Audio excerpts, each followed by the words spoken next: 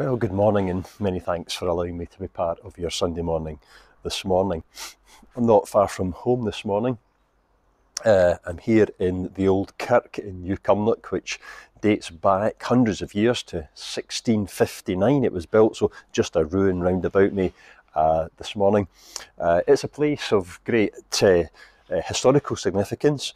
Uh, there was a minister here called Reverend Young, and one of Rabbie Burns' poems, in fact, kind of references uh, the Reverend Young, uh, the Kirk's Alarum, and it was also the site of a lot of controversy round about the times of the Covenanters. Some of the great Covenanters actually preached here.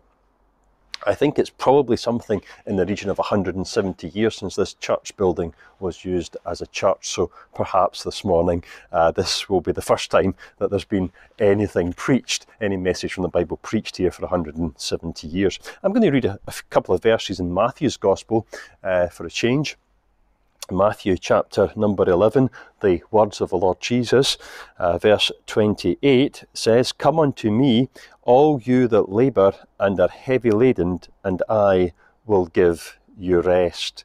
Take my yoke upon you and learn of me, for I am meek and lowly in heart, and you shall find rest unto your souls.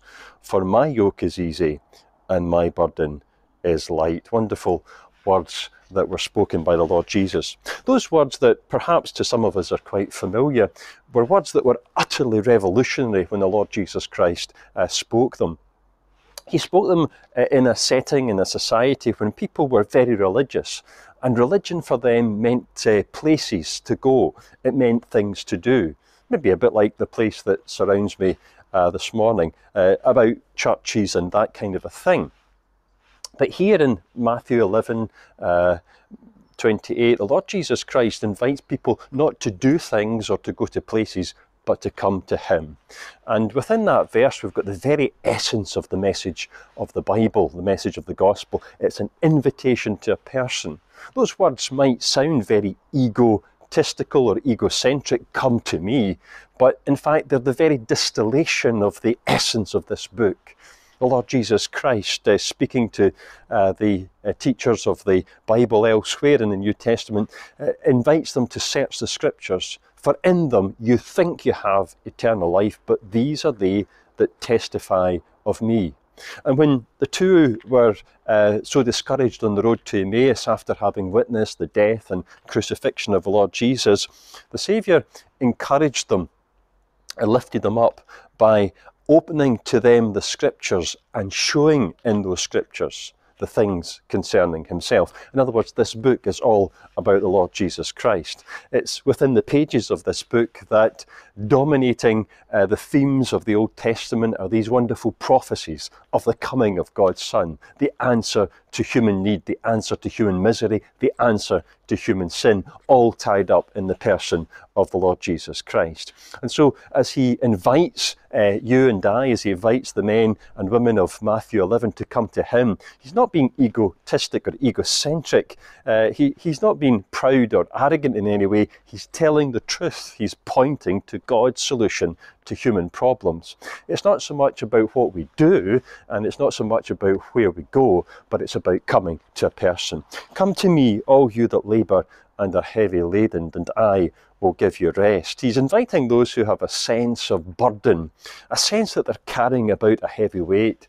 And if, if you were to go into the next chapter of Matthew's Gospel, you would find that the next chapter is all about religious doings, religious observance, people trying to do things to, to please God, uh, keeping the Sabbath, for example, and, and keeping all the rules and regulations of a religious system. They're really desperately trying to uh, ingratiate themselves to the God of heaven. You see, they have a sense, and the sense is true, they have a sense that there is a problem between them and God. They have a sense and the burden of the distance between them and the God of heaven, a sense of what the Word of God uh, so often would refer to as sin. Sin, that is the breaking of God's laws. Conscience tells us about that, the Bible tells us about that, the Ten Commandments tell us about that so often. And here are these people, and they have these great worries uh, about what is going to happen one day when they meet God. And those worries are transformed into work. So let's try and work our way to pleasing God and uh, keeping all of those rules. But the Saviour presents something radically and completely different. It's not about works and it's not about places, it's about a person. It's about a step of faith. Come to me, all you that labour and heavy laden, and I will give you rest. I want you to come. Uh, I want you to rest. And I want you to take, take my yoke upon you and learn of me, for I am meek and lowly in heart. We have to come to the Lord Jesus Christ in the same spirit as the Lord Jesus himself, not with pride or arrogance, but with a sense of meekness and a sense of lowliness, a sense that we can see our need being met in the Lord Jesus and a sense of our own need.